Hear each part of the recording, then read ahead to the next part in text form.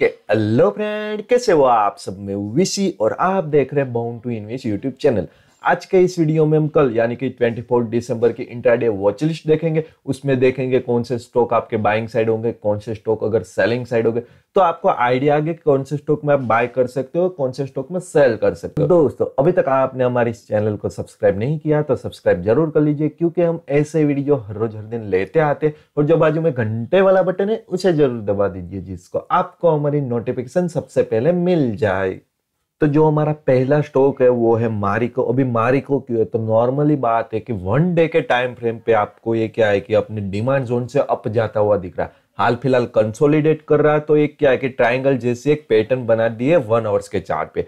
तो ये जो लेवल है आई थिंक ये 340 के आसपास आ रहा है 340 या 341 के आसपास।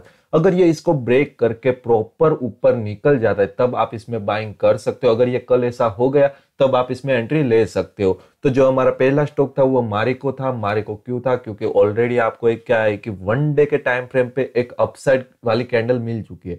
और अगर ये हाल फ़िलहाल वन आवर्स के चार्ट पे क्या है कि ये एक ट्राइंगल जैसा बना रहा तो अगर ये इसको ब्रेक करके ऊपर निकल जाता है, तब आप इसमें बाइंग पोजीशन बना सकते हो कल के लिए। बाद में जो हमारा दूसरा स्टॉक है, वो देख लेते तो इंडस्ट्रिंग बैंक हमारा दूसरा स्टॉक है। अभी ये क्यों है? तो आप देख रहे हो ये कितने टाइम से एक वन रेंज में फंसा हुआ है। मतलब एक चैनल टाइप जितनी रेंज होती है, उसमें फंसा हुआ है। तो अगर ये इसको ब्रेक करके ऊपर निकल गया, तब मैं इसमें अपनी बाइंग पोजीशन बनाऊँगा। अगर ये कल ब्रेक हुआ, परसों ब्रेक हो तो मैं इसको वेट करूँगा। अगर मेरे को ये प्रॉपर ब्रेकआउट देके अपसाइड निकल जाता है, तब मैं इसमें बाइंग करूँगा। ये देखते कल, क्योंकि क्या होता है, ऐसा नहीं होता। देखो, मैं आज भी इसको वॉच करा तो मेरे को लगा आज ये ब्रेक कर देगा, लेकिन नहीं ब्रेक कर पाया। तो हो सकता है कि कल ब्रेकआउट करे, परसों ब्रेकआउट करे तो आप इसको लेके जाओ। जिस दिन ये ब्रेकआउट करता है प्रॉपर तरीके से उस दिन आप इसमें एंट्री ले सकते हो। इसके बाद का जो स्टॉक है, वो देख लेते। इसके बाद जो हमारा स्टॉक है, वो है H D F C only H D F C क्यों है? नॉर्मली बात है, हमारे डिमांड जोन से अप जाता हुआ दिख रहा है। और आज इसने क्या है, आज जब आप देखोगे ना, पूरा दिन ये क्या किया था, एक स्टेबल मोड में था। लेकिन जो लास्ट के जो तीस मिनट है लास्ट के जो तीस मिनट में इसने मुँह दिया है, एक नंबर मुँह दिया है। आप इसको जब पंद्रह मिनट पे करोगे ना, तब आपको आइडिया आएगा। तो मैं इसको पंद्रह मिनट पे कर लेता हूँ। तो आप देख रहे हो पंद्रह मिनट जो लास्ट के तीस मिनट तो आप देखो, जो लास्ट के तीस मिनट है, एक नंबर मुँह दिया, देखो, एक सडनली अप मुँह आया बाद में सेकंड कैंडल भी अप चले गए।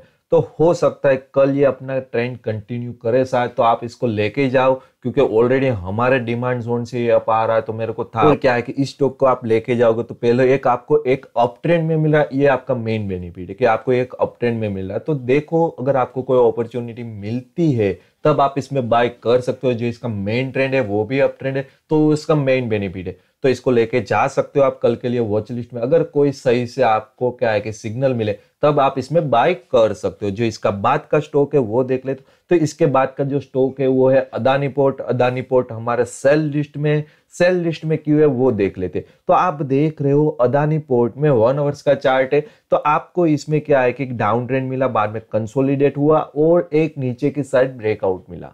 तो इसको मैं सेल साइड इसीलिए ले जा रहा हूँ तो हमें इसमें बियर ट्रायंगल का ब्रेकआउट मिला है। तो हो सकता है आगे आने वाले दिन में आपको और इसमें डाउन ट्रेंड देखने को मिले तो मैं इसको सेल साइड इसीलिए लेके जा रहा हूँ। अगर मेरे को कल इसमें अपॉर्चुनिटी मिली तो मैं इसमें सेल कर सकता हूँ। बाद में जो हमारा नेक्स्ट स्टॉक है, वो देख लेते हैं। जो नेक्स्ट एंड आखिरी स्टॉक है, वो है एस एसएससी क्यू है तो नॉर्मल बात है, आपको एक क्या है कि नीचे से अप जाता हुआ दिख रहा है, बाद में क्या किया कंसोलिडेट किया, और इसमें क्या है कि ट्राइंगल बनाया, और ट्राइंगल का ब्रेकआउट आज हो चुका है।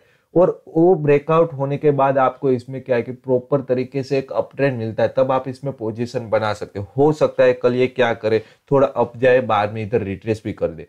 वो आपको देखने को पता चलेगा कि ये रिट्रेस कर रहा है या अपसाइड जा रहा है। वो आपको समझना पड़ेगा अगर नहीं आता है तो। अगर आता है तो कोई दिक्कत है नहीं। अगर ये आपको प्रॉपर अप ट्रेंड में मिल जाए, तब आप इसमें बाइंग कर सकते हो, नहीं तो आप इसके रिट्रेस या पुल बैक का वेट कीजिए। उसके बाद जो ये होरिजेंटल लाइन पे कोई सपोर्ट लेके ऊपर जाता है, तब आप इसमें बाई कर सकते हो। इन सिंपल जो हमारा एसीसी है, वो बाइंग लिस्ट में है। थे हमारे स्टॉक कल के लिए इंट्राडे के लिए। इसमें हमने देखा मारिको बाई साइड के लिए इंडस्ट्रिंग बैंक बाई साइड के लिए H D F C buy side के लिए बाद में हमारा ए सी सी वो भी बाई साइड है। ओनली एक ही स्टॉक है जो सेल साइड है, वो है अदानी पोर्ट तो आपको इसमें देखो, अगर बाय साइड वाले स्टॉक में बाय साइड अपॉर्चुनिटी मिलती है, तब आप इसमें बाय करो। सेल साइड वाले स्टॉक में सेल साइड अपॉर्चुनिटी मिलती है, तब आप इसमें सेल कीजिए। आपका अपना रिस्क होगा तो आप अपनी एनालिसिस के बेसिस पे एंट्री या एग्जिट ले सकते हो। तो ये था हमारा छोटा सा वीडियो कल के वॉच लिस्ट के लिए। अगर ये वीडियो आपको कहीं से भी अच्छा लगा हो तो प्लीज़ यारो लाइक कमेंट एंड सब्सक्राइब कर देना। आप लाइक कमेंट करोगे, तभी तो हमें मोटिवेशन मिलेगा